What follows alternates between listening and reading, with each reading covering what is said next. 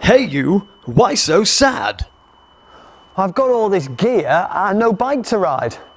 I guess I'll go and just get a coffee. Well, hang on a second. Wow! Is this mine? Not so fast there, young fellow. It's not yours yet, but you could win it for the price of the coffee you were going to buy. But I really like coffee. More than a new bike. Uh... More than a new bike? No, no, no, of course not. That's what I thought.